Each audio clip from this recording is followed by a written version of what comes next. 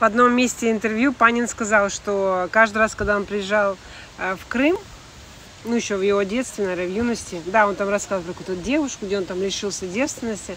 Ну, короче, и он балдел от Крыма, что там есть эти ну, нудистские пляжи и вот такое вот сексуальное свобода. Вот. И он сказал, что все э, крымчане гордились какими-то российскими, ну, у кого что, у кого паспорт, у кого, э, ну, например, там россиянин приехал, да, жители работать, у кого-то, может быть, что-то там футболка российская, у кого-то там произношение. Ну, в общем, вот, и, и он, он поэтому решил, что Крым Россия. Ну, потому что, как бы, люди так вот восхищались Россией.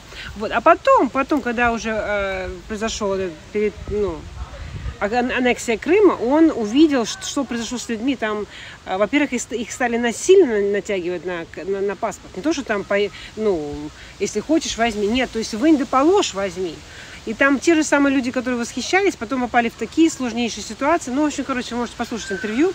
Вот. Я к чему говорю, что э, этот, э, обращаясь уже к Панину, и ко всем людям, которые говорят, вот если я, э, крымчане хотели в Крым. Ведь это же было натаскано, что Крым, типа, это не, не престижно, Украина не престижно, это деревенский акцент, это все деревня, а вот Россия, это же было натаскано на таком уровне, даже подсознательным. Ты, ну, как бы родился, думал, ну, почему я не россиянин? Россиянин быть круто. Это, это везде, говорят, вот в воздухе летает. Не, не то, что это чем-то доказано. Например, самые лучшие импланты России, или самые лучшие, я не знаю, там, машины российские, или самые лучшие, я не знаю, там, э, ну, опять же говорю, что мы разобрали, у России-то ничего сама не делает, но нас же обманывали, и это называется the brainwash. Вот когда российский мир пришел русский мир пришел в Крым, тогда это все, ну, как бы с короля упало это вот, как, знаете, голый король.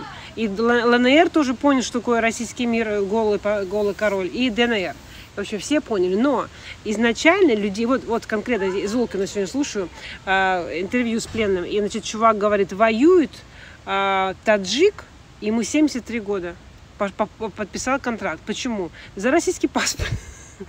Боже мой, представляете, какое уебушное отношение у таджиков к своему паспорту, что они в 73 года идут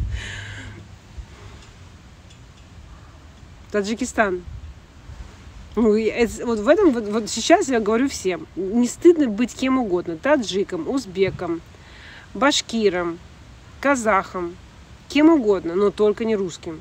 Вот у кого сейчас в руках российский паспорт, выкиньте его в урну, выкинь, слейте его в унитаз, выкиньте его в какой-то там, не знаю, в шлак. Считайте, что это блевотина. Слава Украине!